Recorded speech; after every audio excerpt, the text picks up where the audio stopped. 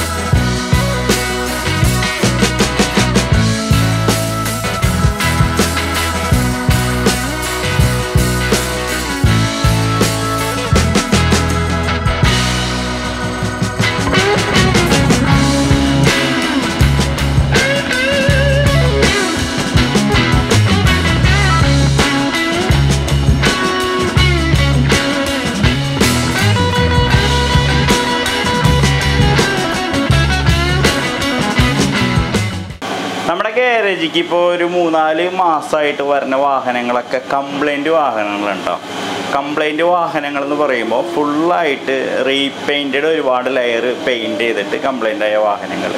അപ്പോൾ ചില വാഹനങ്ങളൊക്കെ നമ്മൾ ആ പെയിന്റും കാര്യങ്ങളൊക്കെ റിമൂവ് ചെയ്യുമ്പോൾ ഉള്ളിൽ റസ്റ്റിന്റെ ഇഷ്യൂ ആണ് തുരുമ്പാണ്. ഈ തുരുമ്പ് വന്നിട്ടുണ്ടെങ്കിൽ ഭയങ്കര ബുദ്ധിമുട്ടാണ്. അപ്പോൾ ഇപ്പോൾ നമ്മുടെ ഗ്യാരേജിൽ കിടക്കണത് ഇപ്പോൾ ഒരു പത്ത് ഇരുപത് വണ്ടി ഉണ്ടെങ്കിൽ ഒരു പത്ത് വണ്ടിയോളം ഫുള്ളും ഇതേപോലെ തന്നെ ഒരുപാട് ലെയർ പെയിന്റ് അടിച്ചു. അപ്പോൾ ഇങ്ങനെയുള്ള വാഹനങ്ങൾ നമ്മുടെ ഗാരേജിലേക്ക് പെയിന്റിങ്ങിനായിട്ട് വരുമ്പോൾ ഓട്ടോമാറ്റിക്കലി സമയം കാര്യങ്ങളൊക്കെ എടുക്കും. ഒരുപാട് സമയം സ്ട്രിപ്പിങ്ങിന് വേണ്ടി പോകുന്നുണ്ട് നമ്മൾ ഒരുപാട് ഏരിയകളിൽ സ്ട്രിപ്പിങ് ചെയ്യുമ്പോൾ നമ്മൾ ലിക്വിഡ് യൂസ് ചെയ്ത് ഇപ്പോൾ മറ്റേ കെമിക്കൽ യൂസ് ചെയ്ത് സ്ട്രിപ്പ് ചെയ്യാൻ സാധിക്കും. പക്ഷേ കെമിക്കൽ യൂസ് ചെയ്യണത് അത്രയ്ക്കും ഗതികെട്ട അവസ്ഥയിൽ യൂസ് ചെയ്യുന്നതായിരിക്കും മിക്ക വാഹനങ്ങളിലും നല്ലത്. കാരണം ഈ കെമിക്കലാണ് അപ്പോൾ ഈ നമ്മൾ ബോഡി പോലെ ട്രീറ്റ്മെന്റ് ചെയ്തതൊക്കെ നഷ്ടപ്പെട്ടു പോകും. അത് കാരണം നമ്മൾ മാക്സിമം കെമിക്കൽ യൂസ് ചെയ്യാണ്ട് തന്നെ ഉള്ളിയോ അല്ലെങ്കിൽ എന്തെങ്കിലും സ്ക്രബ്ബർ യൂസ് ചെയ്തിട്ട് സ്ട്രിപ്പ് ചെയ്ത് സ്ട്രിപ്പ് ചെയ്ത് കളയുക ചെയ്യണത്. അപ്പോൾ അങ്ങനെ ഇപ്പോൾ ഒരു നാല് മാസമായിട്ട് നമുക്ക് ഒരുപാട് വാഹനങ്ങൾ ഇതേപോലെ പെയിന്റ് കംപ്ലൈന്റ് കാര്യങ്ങളൊക്കെ ആയിട്ട് ആണ് ഗ്യാരേജിലേക്ക് വരുന്നത്. പിന്നീട് കംപ്ലൈന്റ് വരാണ്ടിരിക്കാൻ വേണ്ടിയിട്ട് മാക്സിമം നമ്മൾ ആ വണ്ടിയുമ്പോൾ വർക്കും കാര്യങ്ങൾ ചെയ്യുന്നുണ്ട്. മാക്സിമം സ്ട്രിപ്പ് ചെയ്തതിന് ശേഷം തുരുമ്പ് വരാണ്ടിരിക്കാനുള്ള പ്രൈമർ ആപ്ലിക്കേഷൻ എപ്പോസി അടിക്കും. അതിന് ശേഷമാണ് കുറച്ച് ക്ലിയർ ചെയ്തതിന് ശേഷമാണ് ബോഡി ഫില്ലർ ആപ്ലിക്കേഷൻ നടത്തേണ്ടത്. ബോഡി ഫിൽ ആപ്ലിക്കേഷൻ നടത്തിയതിന് ശേഷം പ്രൈമറി ആപ്ലിക്കേഷൻ നടത്തുക അപ്പോൾ അത് പിന്നീട് അതിന്റെ ഉള്ളിലുള്ള കംപ്ലൈന്റുകൾ പുറമേക്ക് വരാനായിട്ട് ചാൻസസ് കൂടുതലാണ്. അത് മാക്സിമം ഇല്ലാണ്ടിരിക്കാൻ വേണ്ടിയിട്ടാണ് ഇങ്ങനെ സ്ട്രിപ്പിങ് കാര്യങ്ങളൊക്കെ ചെയ്യുന്നത്. അപ്പോൾ നമുക്ക് വേണമെങ്കിൽ അതിന്റെ മുകളിൽ കൂടെ പുട്ടി ഫില്ലിങ് ചെയ്യുക പെയിന്റ് അടിക്കുക. ആരും ഒന്നും അറിയാൻ പോകുന്നില്ല ആറ് മാസത്തേക്ക് വണ്ടിക്ക് ഒരു കംപ്ലൈന്റ് ഉണ്ടാവില്ല. പക്ഷേ കംപ്ലൈന്റ് വരാണ്ടിരിക്കാൻ വേണ്ടിയിട്ടാണ് ഇപ്പോൾ നമ്മൾ ആ ഒരു രീതിയിൽ നല്ല രീതിയിൽ അത് സ്ട്രിപ്പൊക്കെ ചെയ്ത് കുറച്ച് ക്ലിയർ ചെയ്ത് എപ്പോസ് അടിച്ചതിന് ശേഷം ബോഡി ഫിൽ ആപ്ലിക്കേഷൻ നടത്തി. അതിനുശേഷം പ്രൈമറി അടിച്ച് ക്ലിയർ ചെയ്യണത് കേട്ടോ അപ്പോൾ നിങ്ങളിപ്പോൾ വാഹനങ്ങൾ നിങ്ങളുടെ കയ്യിലുണ്ടെങ്കിലും ടച്ചപ്പിന് കൊടുക്കുമ്പോൾ ടച്ചപ്പിന് കൊടുക്കുന്ന ആ ഗ്യാരേജിൽ യൂസ് ചെയ്യുന്ന പെയിന്റ് മെറ്റീരിയലും കാര്യങ്ങളൊക്കെ ശ്രദ്ധിക്കുക. കുറഞ്ഞ ഇപ്പോൾ ചില വാഹനങ്ങളിലൊക്കെ ഇട്ടാണ് പുട്ടി എന്ന് പറഞ്ഞാൽ സൂപ്പർ ടാക്ക് ഇട്ടിരിക്കുന്നത് സൂപ്പർ ടാക്കൊക്കെ നമ്മൾ കൊമേഴ്ഷ്യൽ വെഹിക്കിളിന് വേണ്ടിയിട്ട് യൂസ് ചെയ്യണതാണ്. കൊമേഴ്ഷ്യൽ വെഹിക്കിൾ എന്ന് പറഞ്ഞിട്ടുണ്ടെങ്കിൽ ഇപ്പോൾ നമ്മൾ ടിപ്പറിന് പുട്ടിയിടണമെങ്കിൽ നാളെ സാധാ ബോഡി ഫിൽഡർ ഇട്ടിട്ടുണ്ടെങ്കിൽ കാര്യമില്ല. കാരണം അത് ഇമ്പാക്റ്റും കാര്യങ്ങളൊക്കെ ഇപ്പോൾ ടിപ്പർ കൊട്ട കമത്തുന്ന സമയത്തൊക്കെ കല്ല് വന്ന് വിനി കുത്ത കുത്തിയിട്ടുള്ള ഇമ്പാക്റ്റ് ഒക്കെ വരുമ്പോൾ ഓട്ടോമാറ്റിക്കലി നമ്മുടെ നോർമൽ ബോഡി ഫിൽഡർ പൊട്ടയെന്ന് തന്നെ പൊട്ടിപ്പോവും. അപ്പോൾ അതിന് ഹാർഡായിട്ടുള്ള ബോഡി ഫിൽഡർ വേണം. അതൊക്കെയാണ് ഈ സൂപ്പർ ടാക്ക് പച്ച കളറിലുള്ള സാധനങ്ങളൊക്കെ.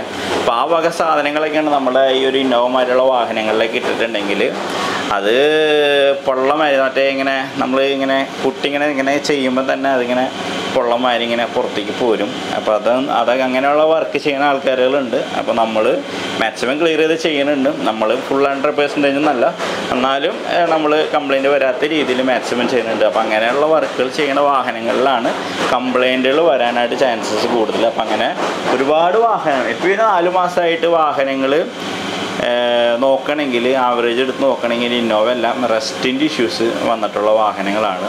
അപ്പോൾ നിങ്ങളും സെക്കൻഡ് ഹാൻഡ് വാഹനങ്ങൾ വാങ്ങുമ്പോൾ മാക്സിമം വണ്ടി ശ്രദ്ധിക്കുക. വണ്ടി വാങ്ങണ സമയത്ത് ഡെൻഡിങ് ഉണ്ടായ കുഴപ്പമില്ല. ഈ ഒരു ഗ്രേ കളർ വണ്ടി വണ്ടി വാങ്ങിക്കൊണ്ട് വന്നതാണ് പുറമേ നിന്ന് പക്ഷേ ഈ വണ്ടിക്ക് ഡെൻഡിങ് ഉള്ളൂ. ഈ ഒരു ഡെൻഡിങ് എന്ന് പറഞ്ഞിട്ടുണ്ടെങ്കിൽ നമുക്ക് ഡെൻഡ് അടിച്ച് ക്ലിയർ ചെയ്തെടുക്കാൻ സാധിക്കും. ഏഹ് പക്ഷേ റെസ്റ്റിന്റെ ഇഷ്യൂസ് വന്നാൽ തുരുമ്പ് വന്നിട്ടുണ്ടെങ്കിൽ ഭയങ്കര ബുദ്ധിമുട്ടാണ്. അപ്പോൾ തുരുമ്പ് വരാത്ത വാഹനങ്ങൾ മാക്സിമം നിങ്ങൾ നോക്കി വാങ്ങാനായിട്ട് ശ്രദ്ധിക്കട്ടോ അപ്പം ഇനി ഗ്യാരേജിലെ ജസ്റ്റ് കാഴ്ചകളൊക്കെ ഒന്ന് കാണാം.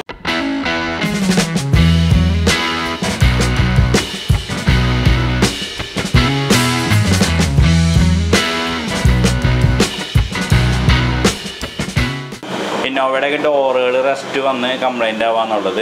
ഡോർ അടയ്ക്കാനും പിടിക്കാനും പ്രശ്നങ്ങളൊന്നുമില്ല. പക്ഷേ ഡോറിന്റെ അടിവശങ്ങളിൽ വെള്ളം കെട്ടി നിന്നിട്ട് അടിവശങ്ങൾ റെസ്റ്റ് വന്നിട്ട് മൊത്തം നമുക്ക് പണിയാത്ത രീതിയിലുള്ള ഇതിലാവും. അപ്പോൾ നമ്മൾക്ക് ചെയ്യേണ്ടതെന്ന് പറഞ്ഞാൽ ഡോർ റീപ്ലേസ് ചെയ്യണം.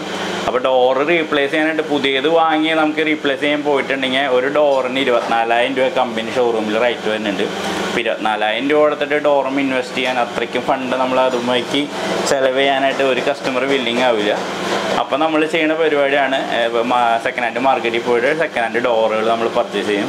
അത് ഷോറൂമിലൊക്കെ നോർമൽ ഡെന്റും കാര്യങ്ങളൊക്കെ ഉണ്ടെങ്കിൽ റീപ്ലേസ് ചെയ്യുന്ന ഡോറുകൾ നമ്മളൊരു അഞ്ച് അഞ്ഞൂറ് ആറ് അഞ്ഞൂറ് ആ ഡോറിന്റെ കണ്ടീഷനൊക്കെ അനുസരിച്ചായിരിക്കും. ചിലപ്പോൾ ഏഴ് രൂപ എട്ട് രൂപ വാങ്ങുന്ന സമയങ്ങളൊക്കെ ഉണ്ടാവും. അപ്പോൾ ആ റേഞ്ചിൽ നമ്മൾ പർച്ചേസ് ചെയ്യും. അതിനുശേഷം നമ്മൾ ഇപ്പോൾ ഈ ഒരു വണ്ടിയുടെ ഡോറ് ഈ ഒരു രീതിയിലായിരുന്നു. അപ്പോൾ അത് റീപ്ലേസ് ചെയ്തിട്ട് ഈ ഒരു രീതിയിലുള്ള ഡോർ നമ്മൾ സെറ്റ് ചെയ്തു. അപ്പോൾ ആ വണ്ടിയുടെ ആ ഒരു കംപ്ലൈന്റ് നമ്മൾ പൂർണമായിട്ട് ക്ലിയർ ആക്കി. ആ വണ്ടിക്ക് നമുക്ക് മൂന്ന് ഡോർ വേണം. ഇനിയും ആ വണ്ടിയുടെ രണ്ട് ഡോർ നമുക്ക് റീപ്ലേസ് ചെയ്യണം കേട്ടോ. അങ്ങനെ ഇപ്പോൾ ടോട്ടലി നമ്മളിപ്പോൾ ഗ്യാരേജിന് വേണ്ടിയിട്ട് ഏഴ് ഡോർ നമ്മൾ പർച്ചേസ് ചെയ്തു. പക്ഷേ ഡോറുകൾക്കൊക്കെ പല റേറ്റുകളാണ് പലതിനും. ഇപ്പോൾ ഏഴെണ്ണം വാങ്ങിയാൽ ഏഴിനും പല റേറ്റ് ആയാണ്. കാരണം അങ്ങനെയാണ്. കണ്ടീഷനൊക്കെ അനുസരിച്ച് ചെറിയ ചെറിയ വ്യത്യാസങ്ങളൊക്കെ വരും. അപ്പോൾ ഡോറ് കംപ്ലൈന്റ് ആയിട്ട് മിക്ക വണ്ടികൾ ഇപ്പോൾ നമ്മുടെ ഷോപ്പിൽ വന്നിട്ടുണ്ട്. നാലഞ്ച് വണ്ടിയുടെ ഡോറുകൾ താഴെ റെസ്റ്റ് വന്നിട്ട് കംപ്ലൈന്റ് ആയിട്ടുണ്ട്. അപ്പോൾ താഴെ റെസ്റ്റ് വരുമ്പോൾ മൊത്തം അതിന്റെ പത്രമൊക്കെ ദ്രവിച്ച് പോയ രീതിയിലായിരിക്കും. നമ്മൾ പണി തുടങ്ങുമ്പോഴൊക്കെ ആയിരിക്കും അതിന്റെ കംപ്ലൈന്റുകൾ അറിയാം. ഈ ഒരു വണ്ടി നോക്കുകയാണെങ്കിൽ ഉറച്ചതിന് ശേഷമാണ് സെന്റർ മൊത്തം ഓട്ടയ രീതിയിൽ നമ്മൾ കാണുന്നത്. അങ്ങനെയൊക്കെ ഉണ്ട്. അപ്പോൾ അത് നമ്മൾ റീപ്ലേസ് ചെയ്യണം. അപ്പോൾ ഇനി നമുക്ക് ഇവിടെ ഗ്യാരേജിലെ കാര്യങ്ങളൊക്കെ ഒന്ന് കണ്ടിട്ട് വീഡിയോ അവസാനിക്കാം കേട്ടോ.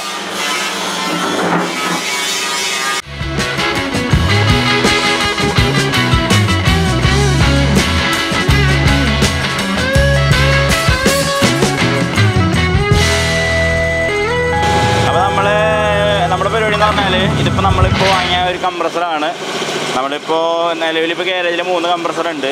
കാരണം ഇപ്പോൾ നമ്മൾ സാൻഡിങ് ഒക്കെ ചെയ്യണത് സാൻഡിങ് മെഷീൻ വെച്ചിട്ടാണ് മെഷീൻ വെച്ചിട്ടാണ്.